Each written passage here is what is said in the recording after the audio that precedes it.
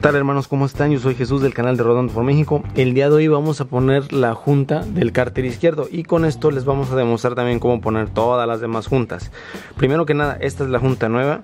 Yo lo que hice antes de poner la junta es limpiar toda la parte alrededor donde va la junta y esto lo puedo hacer con thinner. Si queda algún tipo de relieve, es decir, si queda algún tipo de exceso, por ejemplo aquí, que queda un poquito de, la junta anterior o que quede junta anterior o que vean que, que está dañado, pues lo que tienen que hacer es lijar un poco nada más para asegurarnos de que se quede, de que eliminemos la junta anterior por completo y que no quede mal de esto. De hecho, esto ya tiene aquí como que algunos daños, pero bueno, vamos a lijarlo un poco y lo que vamos a hacer a continuación va a ser limpiar toda la parte sobre la que vamos a trabajar ok.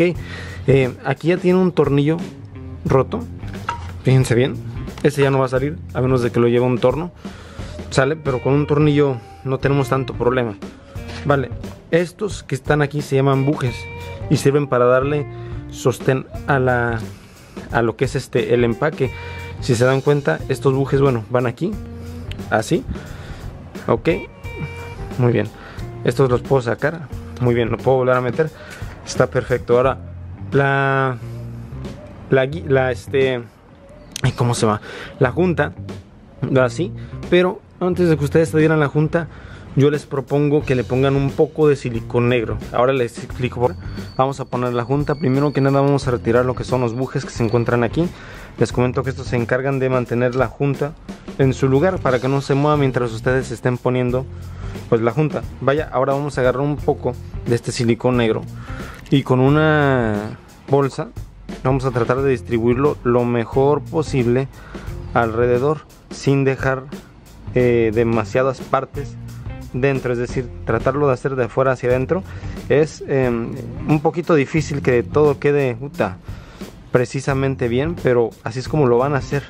Eh, ahora escuchen bien porque yo opto por hacer esto ya que muchos dicen que es un trabajo sucio. Y sí definitivamente quizá tengan razón, sea un trabajo sucio, pero la verdad es que ya cuando vas en carretera y se te echan a perder más rápido, este, las juntas, es cuando te arrepientes de no llevar silicón o mínimo ponerle un poquito de silicón o haberles puesto silicón a las juntas. Entonces yo les recomiendo que lo hagan, no les pasa nada, no, no se va a ensuciar para nada esto, porque lo que van a hacer ustedes es tratarlo de poner de la forma más homogénea sobre todo toda la orilla donde va a ir la junta. Si se dan cuenta hasta cada vez se va haciendo menos. Voy a agarrar otra parte de la bolsa que no tenga ya silicón y voy a tratar de quitar lo mejor posible de las orillas o de aquí adentro.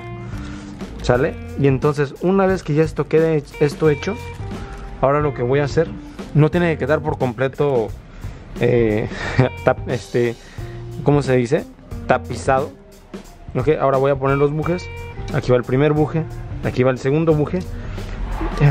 Ok, vaya, bien. Ahí le puse, ahí le puse mi dedote.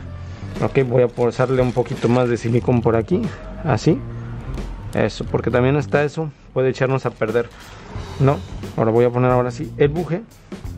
Voy a limpiar todo lo que tenga silicón, que no debe de tener silicón voy a asegurarme de que no tenga nada pasándole otra vez por dentro. Algún trapo. Listo. Vamos a tratar de que no quede nada de silicona adentro. Ok porque a fin de cuentas eso podría afectarnos en algún momento. Fíjense bien. Vamos a quitar lo más posible. Igual si ahorita ven que queda un poco no se preocupen yo detrás de cámaras lo que hago es limpiar nada más quiero que quede la idea de que pues esto tiene que ser un trabajo más limpio que sucio. Y ahora sí ponemos lo que es la junta. Si se dan cuenta los bujes actúan como guía. Y ahora sí aplanamos lo más que se pueda nuestra junta que quede lo más derechito posible y listo.